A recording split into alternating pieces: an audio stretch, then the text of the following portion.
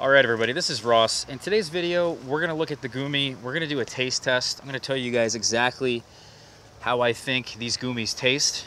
And then we're also gonna look at them at different stages because I have I have these Goumi berries in different stages here uh, that determine really the flavor. It's kind of like a persimmon, I like to think about it as, is that a persimmon has enough different stages of ripeness that it's almost like a completely different fruit at different different points. So the same thing with the gummy berry here is that uh, it really does sort of mellow out as it gets more ripe.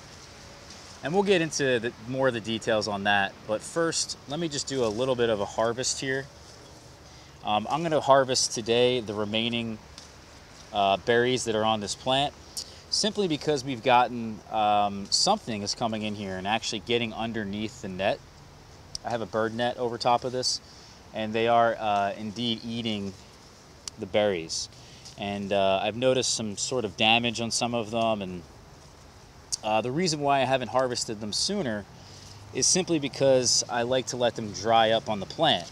And if you can get them to do that, well, you'll actually get, as I said, different, uh, a different flavor experience, a different experience overall, because when the berry, the goumi berry, dries up on the plant, it really gets that name of goumi, right? So it's supposed to taste like a gummy bear.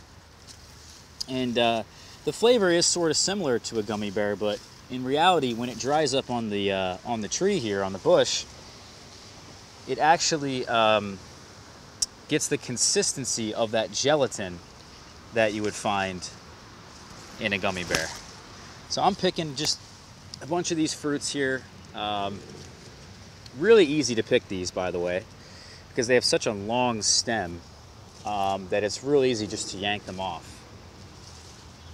Now, it would be nice if you could just, as an example, excuse me, guys, if you could just shake these guys off and you'd be maybe even uh, an easier way to harvest them, but uh, I don't think that's necessarily possible. They're pretty firmly attached to the plant. And um, I had a really good harvest this year. I've been eating these guys off of the, the bush for a few weeks now. Um, you know, today is, I think, the 27th to the 28th.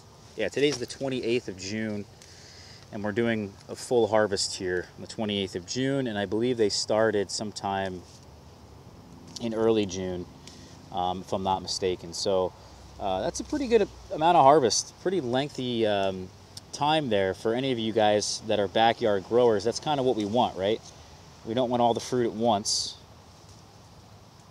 and therefore I think uh, gets even more points for that. It's it really has become. If you haven't seen my other videos on the Goumi, we've talked a lot about the characteristics, the growing characteristics, what I think about it. Uh, it is really become one of my favorite fruits. I always enjoy coming out here and actually eating these. I eat these every day, uh, basically since early June. So I got myself a little bit of a harvest here. We're gonna go through the fruits and we're going to then uh, show you at different stages what these guys look like and how they taste at different stages. So here's our little harvest here. Not bad. Uh, we still have more to go on the plant, but I figured for the sake of this video. And you can see some of them are getting some holes in them, and I just really do think that something is getting after these berries. I've seen enough berries, the pits actually, on the grounds. And that to me is a sign that we got to get in here and harvest. I don't know what's getting after them. Weird bite marks. Um, but yeah, so that's what we're doing. All right, so let's get you one that looks very red. And there's some in here that are not just yet ripe. So you'll get an idea what those sort of taste like. Because as the berry ripens, um, it loses a lot of some of that really harsh flavor that it may have. So I would describe the goumi berry here as a bit um, tart, a little bit sour, uh, sweet, a lot like fruit punch, I guess this is a pretty decent representation here of the different stages that you guys can uh, get a good visual of here. So we have two berries here in the front.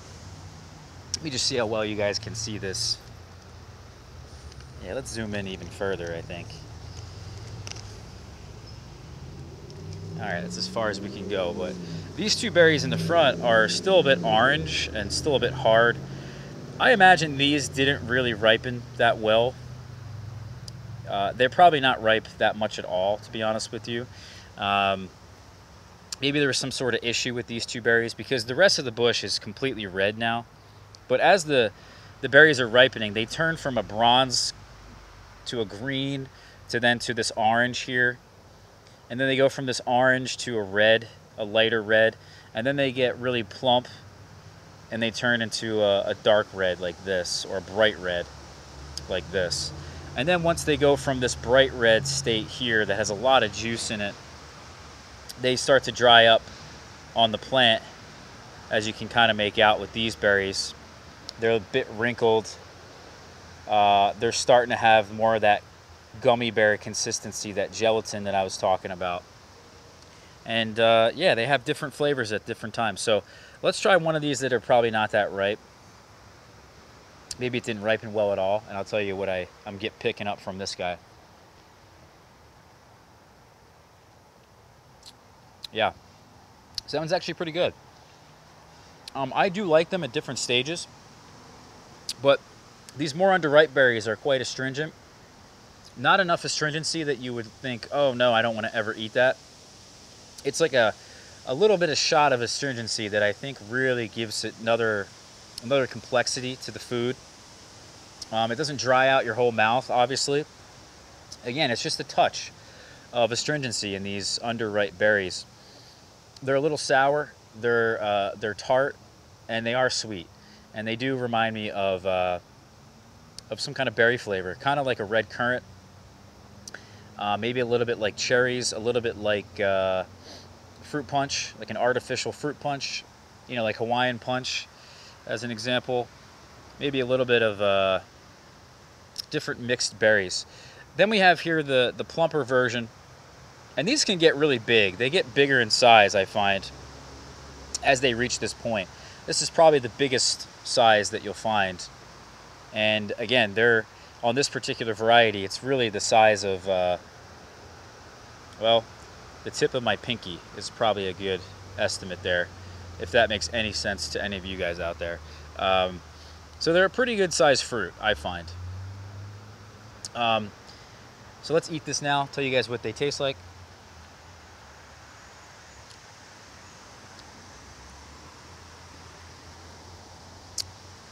So that's very good the astringency almost goes away completely.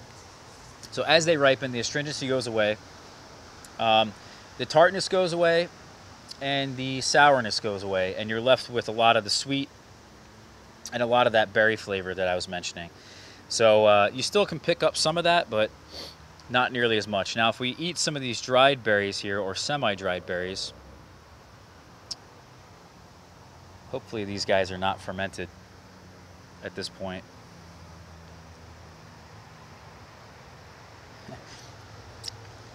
See, when you squeeze them like that, you can really tell that the juice is just pouring right out of them. Doesn't look that appetizing, does it? Now, I just ate that outer part to show you that this inner part is indeed starting to dry up and is indeed turning into that gummy bear. This is more, this is a very different texture. The texture before is very juicy.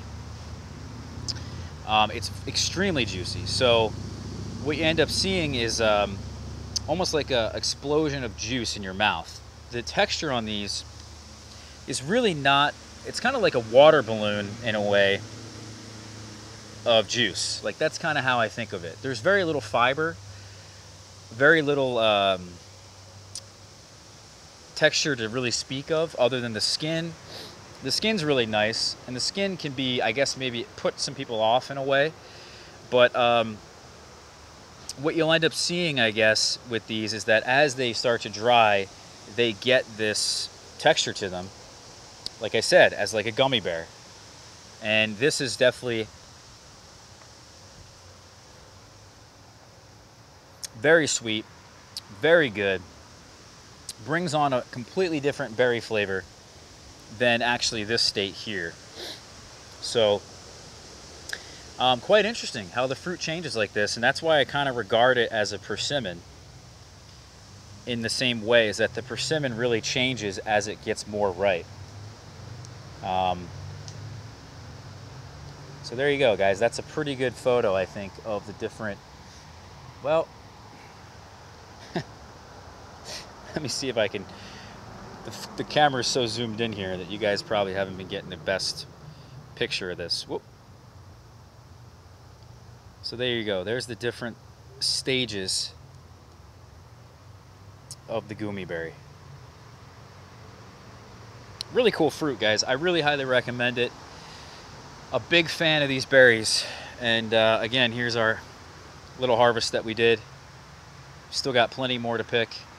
And overall, I've been uh, getting my fill of these berries, and I would like to have even more of them um, to bring them inside the house, believe it or not um, and then to actually dry them.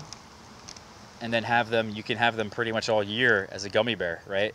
Instead of going to uh, to the candy store picking up some gummy bears you got some really incredible gummy berries. So um, yeah thank you guys here so much for for watching this one and sticking with us uh, I would like to talk more about the gummy berry because it has become one of my favorite fruits we did a couple videos now on them I think I'll do one more video on propagating because uh, it is difficult to propagate them. We're going to do some air layers, and I need some rooting hormone before I can uh, complete that. But uh, we want to have a number of these plants throughout the yard. Um, I know they do get some pretty good size to them eventually, but um, you can keep them in check, I find, at least so far I've been able to.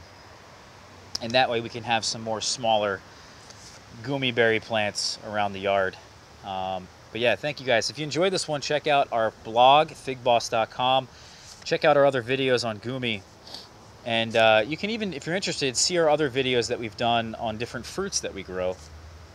So yeah, thank you guys here so much for watching this one. Hit that subscribe button. We'll see you guys soon. Take care.